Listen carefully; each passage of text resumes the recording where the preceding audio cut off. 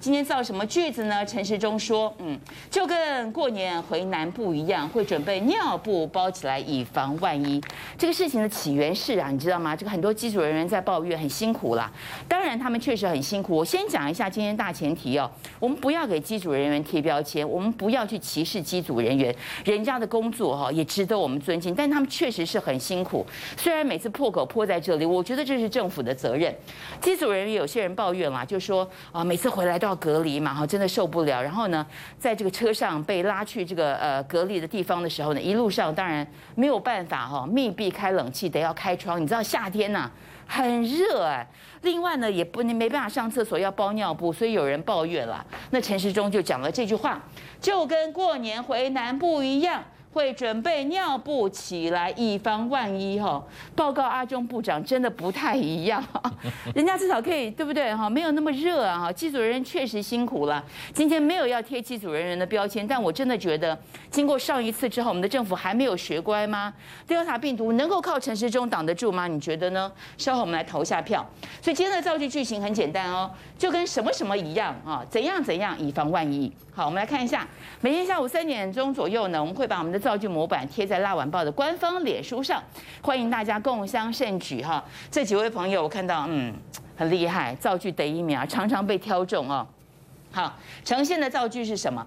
就跟论文门门门一样，先保密三十年，以防万一。你就跳哎呢哈，刘明照哈，就跟华航诺富特一样，尽快试打疫苗，扩大筛检，以防万一，对不对？就是没疫苗啊，有疫苗第二类先打啊。还有庆章，就跟高端疫苗一样，问题这么多，真的不要尝试，以防万一。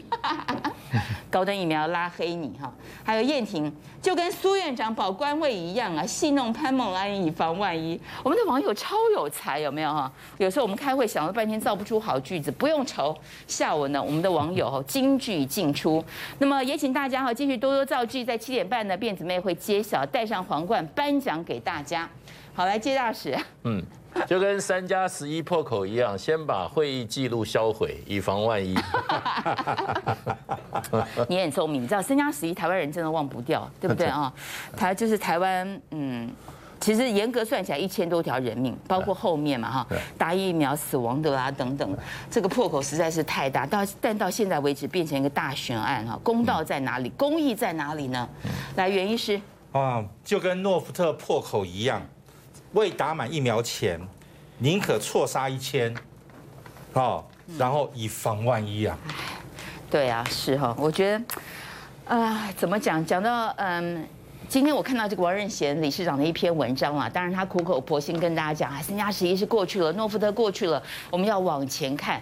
但是正是因为这个部分没有守好嘛，现在你看到 Delta 魔王进来，又是迫在桃园。又是迫在机组人员哈，那感觉上还是一样啊，所以这个规定拉严，当然我们知道了，它规定放宽有很多很多的因为所以因为所以啊，但是有什么比生命更重要呢哈？如果这个部分守严的话，是不是其他的部分比较容易解决？我们也不会损失那么多人命，还有你后续的经济呀等等，只要疫情守得好，只要疫苗到位来得及，台湾很多问题是可以迎刃而解的哈。